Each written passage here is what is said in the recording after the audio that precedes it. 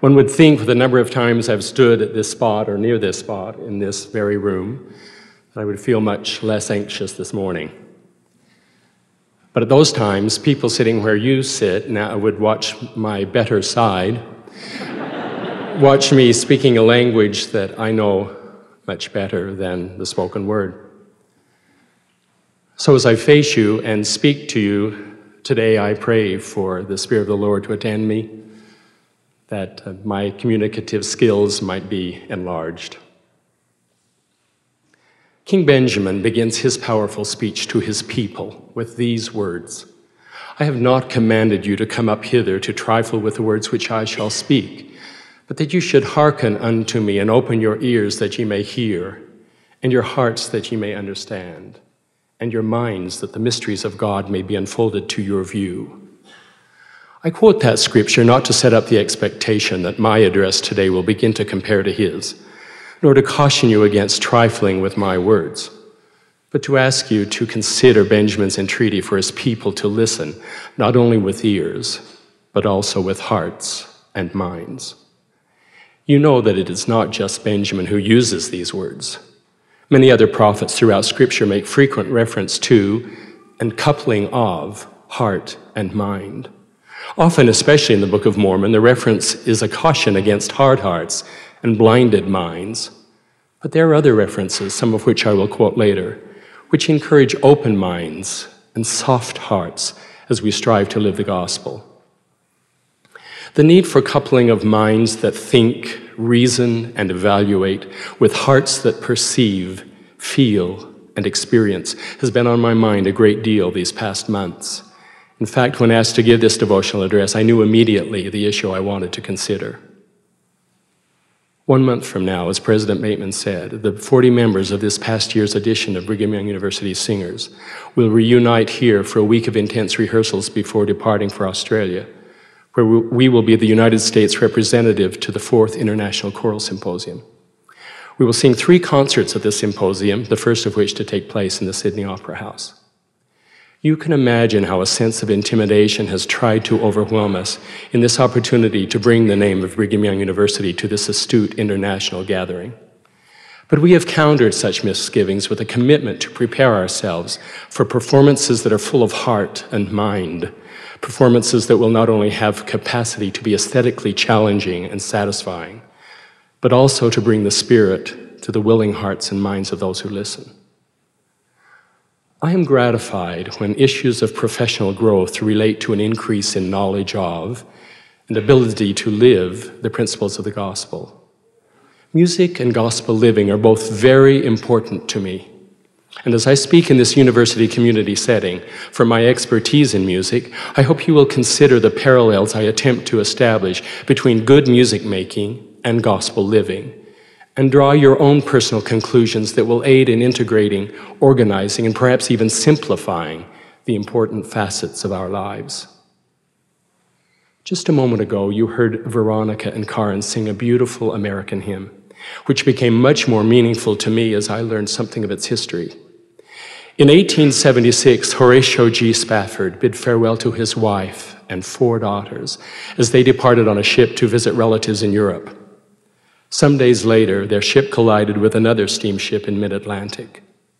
Before it sank, Mrs. Spafford prayed with her daughters and committed them to the mercy of the Lord. She never saw them again in mortality. Mrs. Spafford was rescued and sent this cable to her husband saved alone. While on the Atlantic on his own voyage to bring his wife home, he wrote the words to this hymn When peace like a river attendeth my soul.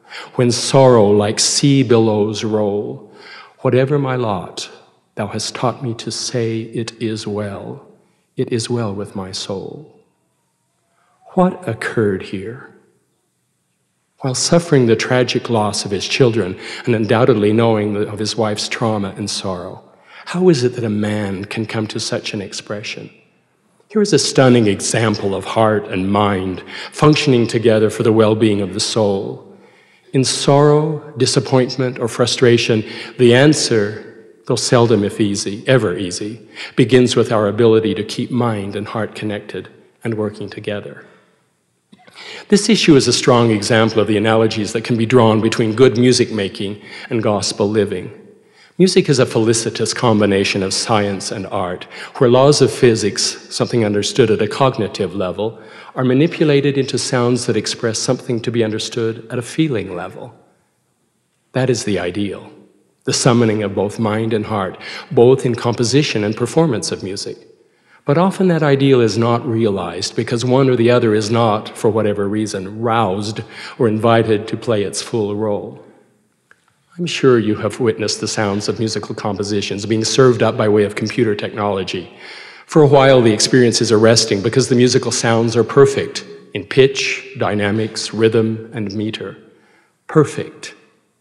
Perfectly boring the subtle nuance resulting from personal expression of that which is understood only at a feeling level, the heart, is missing. On the other hand, listen to this line from a recent review, not a very nice review, by Bernard Holland, music critic for the New York Times. Quote, the sincerest passions do little good without the thoughtful application of detail, unquote. Performances founded only in the emotion of music often become reckless confusing, or maudlin, while performances based only on the science or techniques of music making are wooden, mechanical, cerebral. If we are accustomed to meeting music only on the grounds of its ear, of its ear titillating value, experiencing it only at the feeling level, we may balk at the idea of bringing the mind to the experience as well.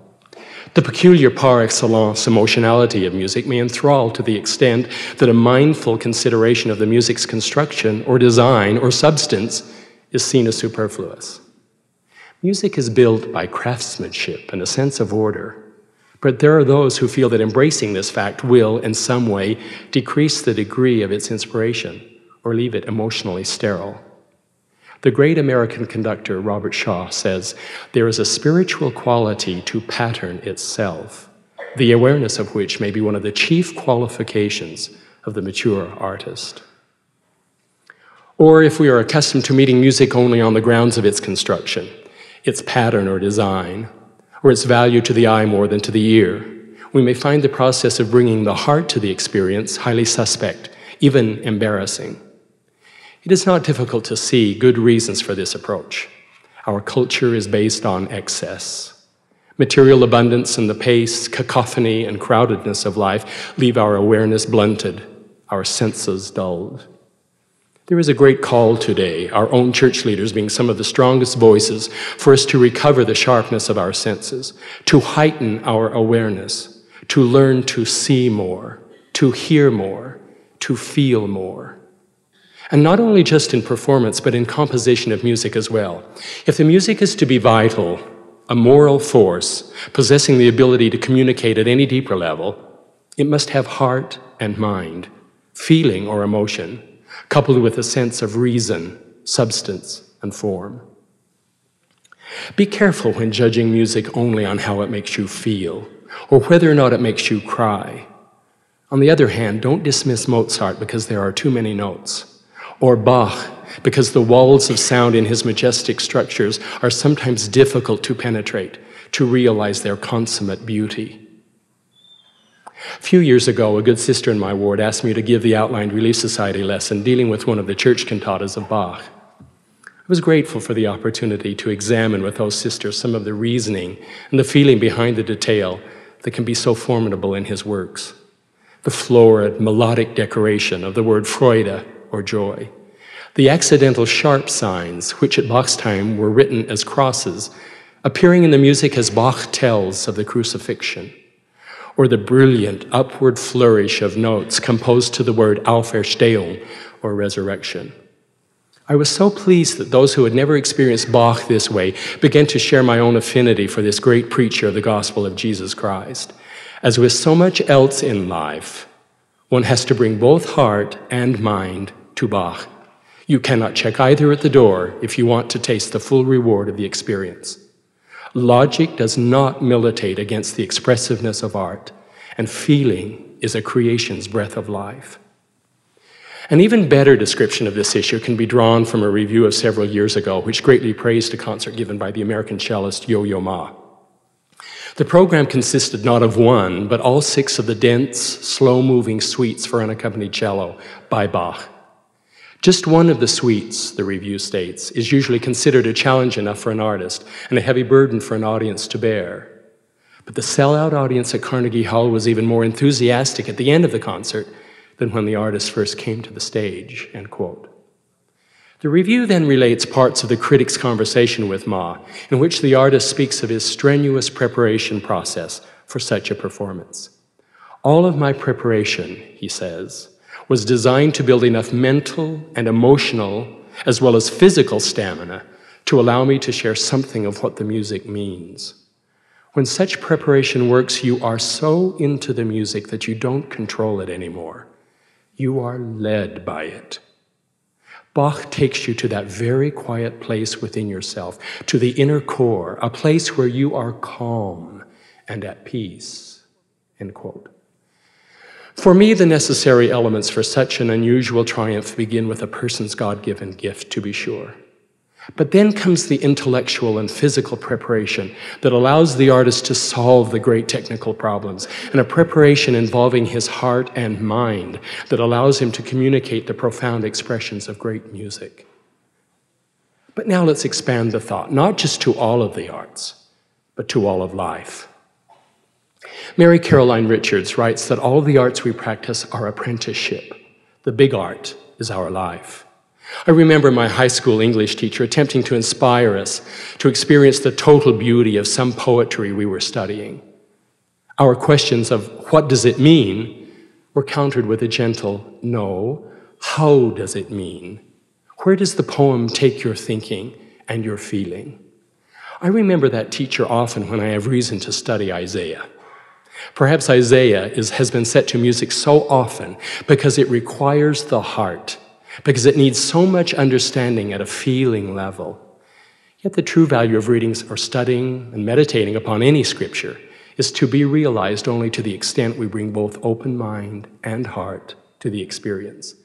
And the same is true with prayer. The New Jewish Prayer Book says, Make every effort to pray from the heart. In the eyes of the Lord, the effort is precious, even if you do not succeed. At the time of the well publicized explosion of a highly unconventional family, the man, in explanation of his misbehavior, said simply, The heart wants what the heart wants. But he tragically forgot that the mind does not have to give the heart what it wants. That the ability to feel and think is what lifts us above the rest of the animal kingdom and makes us only a little lower than the angels. In the 64th section of the Doctrine and Covenants, the elders of the church at, at Kirtland are told, Be not weary in well doing, for ye are laying the foundations of a great work. Out of small things proceedeth that which is great. Behold, the Lord requireth the heart and a willing mind.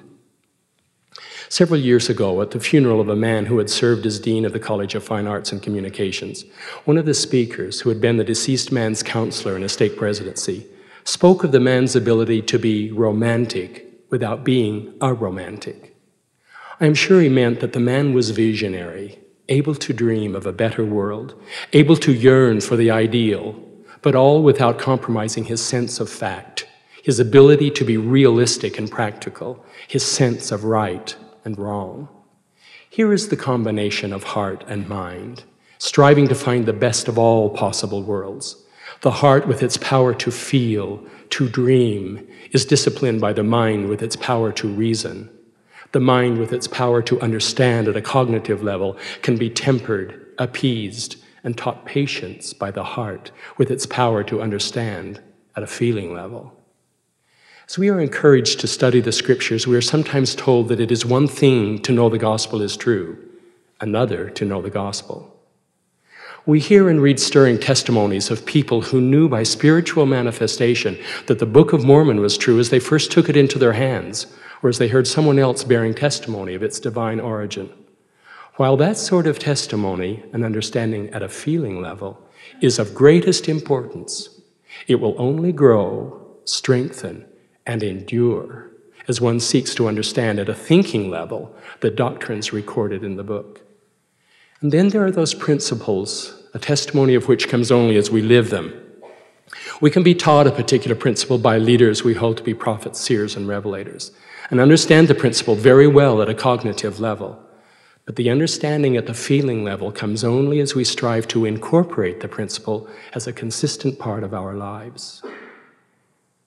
The mind, left long enough without the mitigation of the heart, becomes cruel, divisive, tactical, hypercritical, vain, obsessive, disillusioned, or cynical. The heart without the stabilizing mind becomes impulsive, manipulative, mawkish, insipid, dark, cold.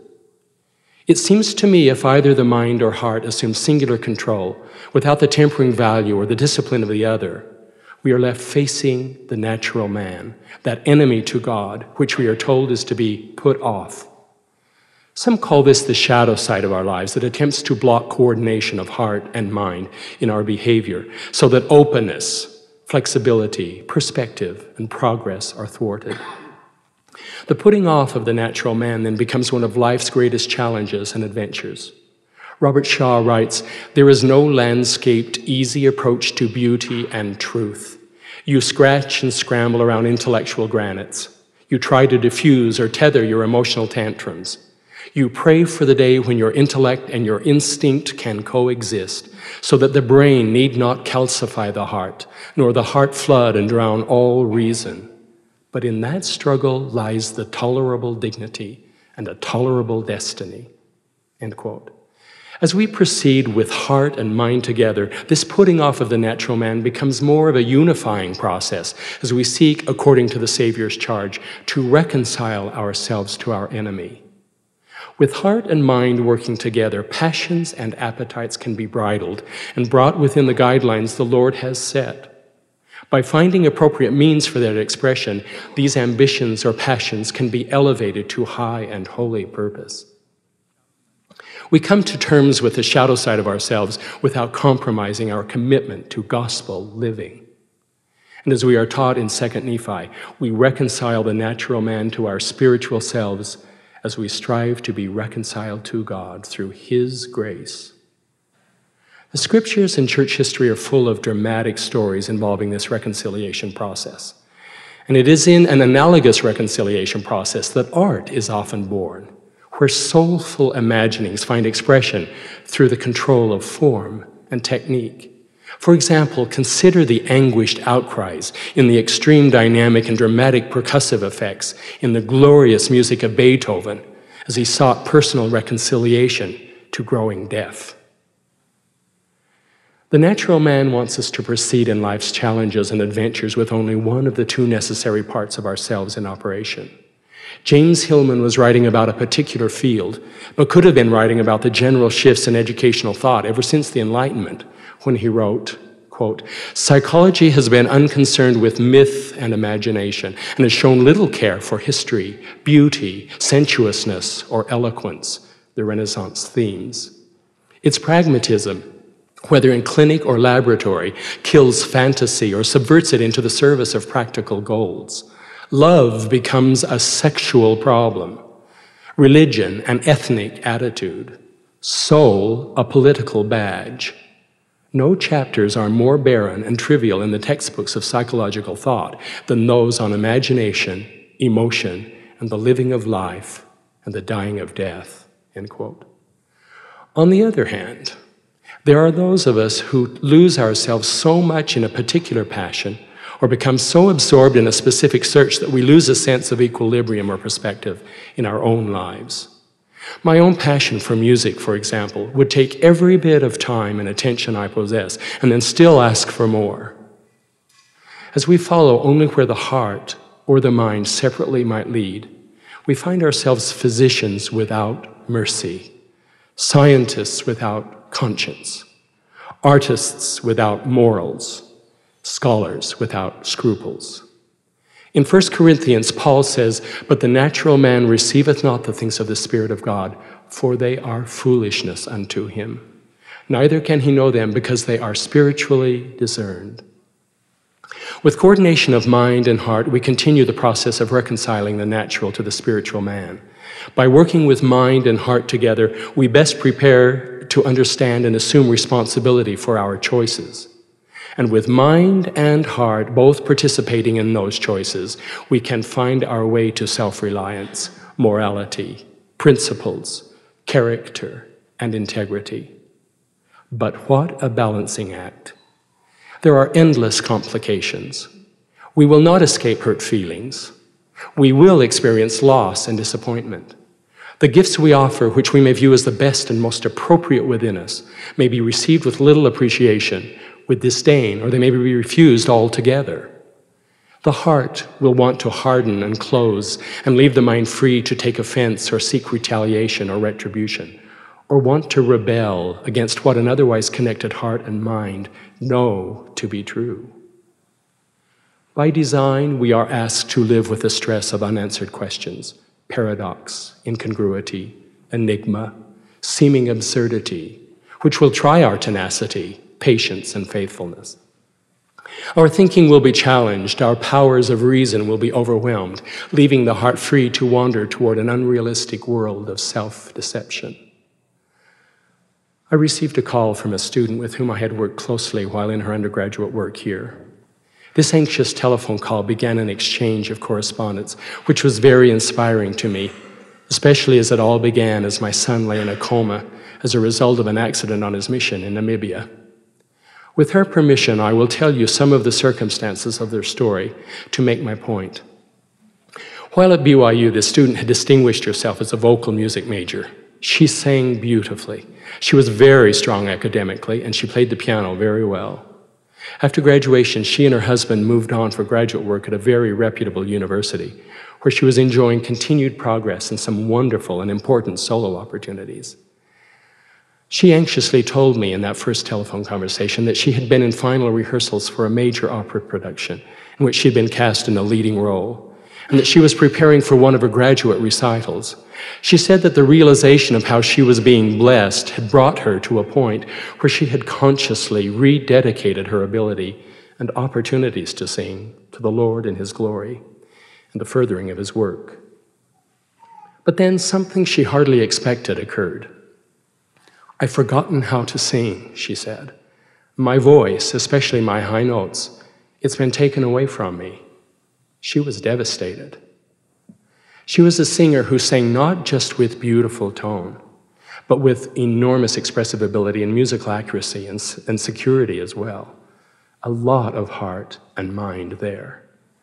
This was in large measure the means by which she had been defined in the minds of others, and even, I think, to some extent in her own mind.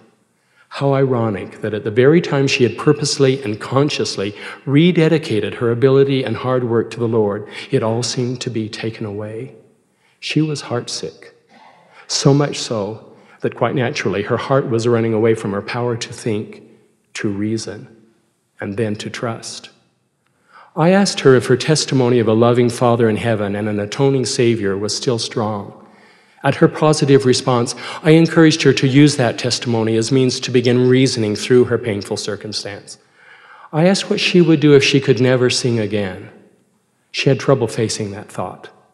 I told her that the situation seemed to me to be one where, because of her preparation, she was well into some advanced study and some of those cardinal virtues of life faith, love, trust, patience, and knowledge of self, including purpose and potential. I said to her, You were saying, Lord, I am ready. And he, of course, takes that as a cue to initiate you further along the prickly path of spiritual, emotional, soulful progress. In subsequent letters, I wrote, You dedicated to him what you'd perhaps saw as the most valuable part, the most meaningful facet of you. And what happens? He throws a wrench in the whole consecrating process, or so it might seem. But He knows us. He loves us more than we can ever imagine. He is never far away from us, especially when we are suffering. And we can rely on that love and support to sustain us no matter what. Though all else fail, though our fondest hopes and plans be dashed, though we be rejected or refused by the world or any who inhabit it, He is there. Though we feel devastated, He sees the lovable, beautiful, perfect facet at our core that is worthy of His sustenance and supportive grace. If we can sense His love, His concern, His attentive presence, then we can be at peace just putting one foot in front of another, attempting to walk uprightly before Him, willing to submit to all that He asks, being quick to set our path aright when we come to our senses and realize we have strayed, willing to sacrifice our talents or intentions or desires or position or a friendship or a son or, or, or all because we know that everything will work to our best good in the end, that all loose ends will find reconciliation in Him. Perhaps this is not just a two week or a two year trial period for you. Perhaps you never will sing again, which would be difficult for many of us to understand.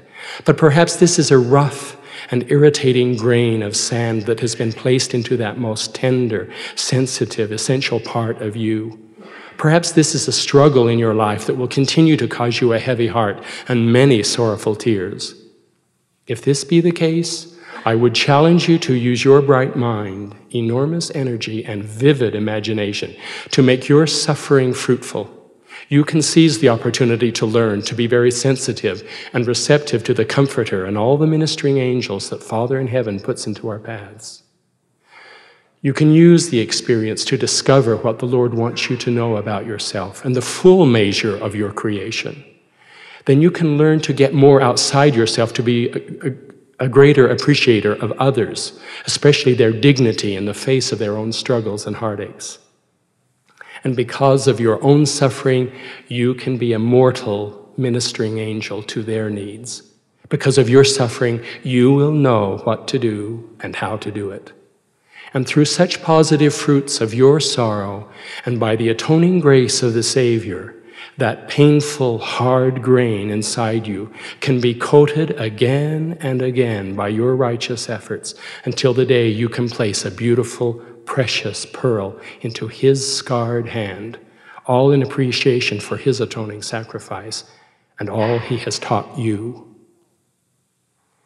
We all have felt, just as this wonderful young woman, the natural inclination to allow the heart to overbalance or sometimes even exclusively rule our behavior when we are desolate. Or the opposite, and just as common situation, where our thinking has closed the heart and is in sole control. I think our lives consist mostly of subtle shifts back and forth between these two situations. This is an interesting micro reflection of the larger, more dramatic swings back and forth from the objective to the subjective in the history of the humanities. But with us as individuals, the Holy Ghost can touch our minds when the heart is in trouble, and our hearts when the mind has misstepped, so that each can again balance, discipline, and complement the other.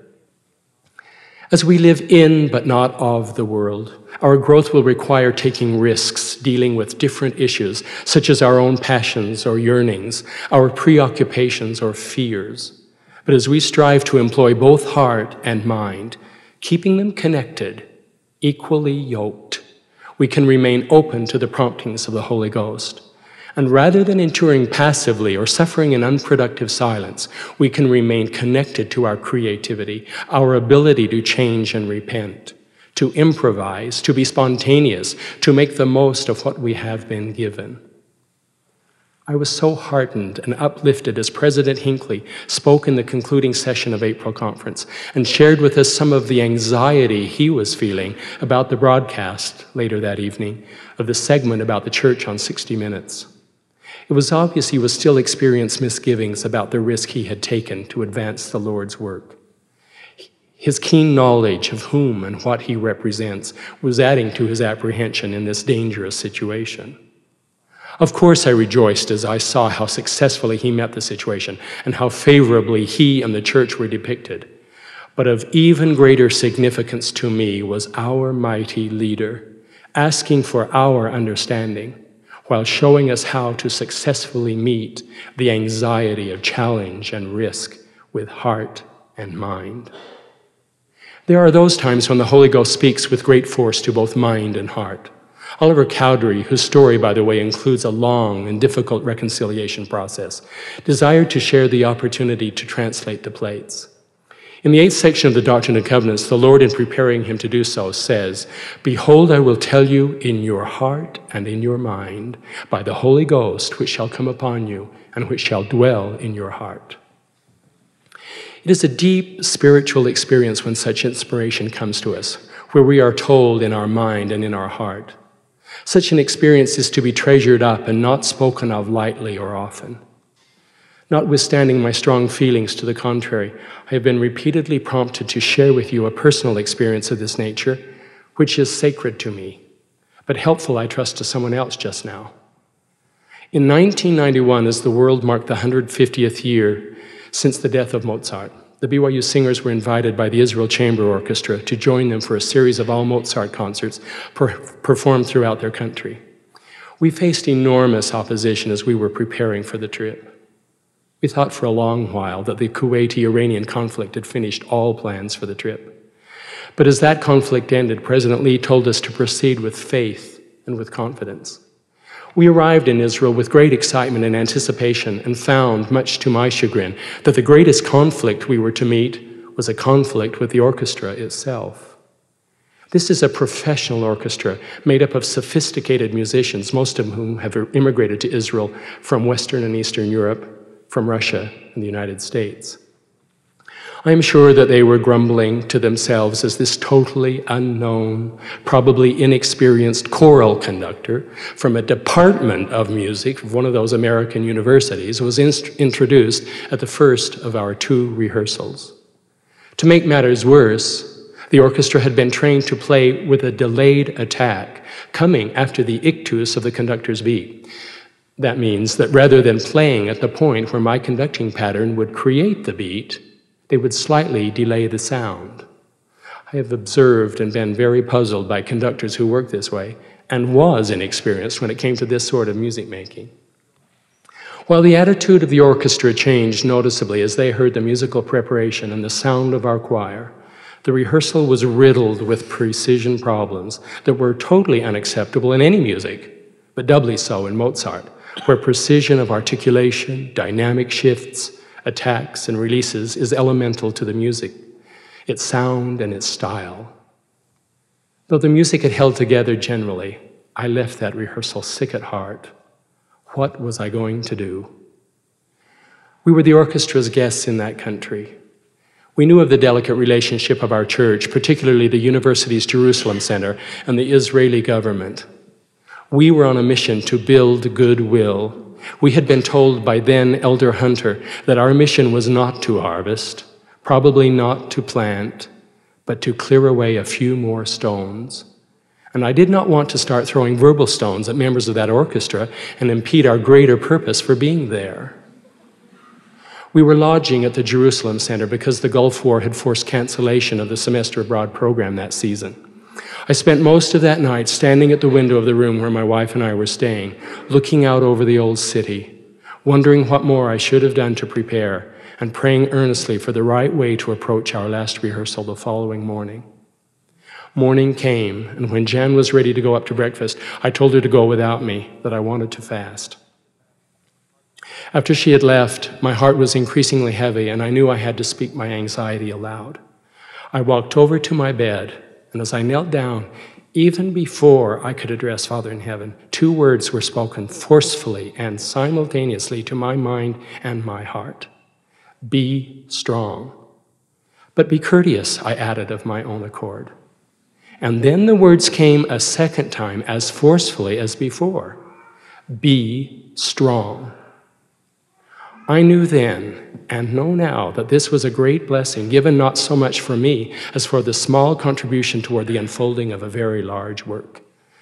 On the bus from Jerusalem down to Tel Aviv, Jan squeezed my hand and asked what I was going to do.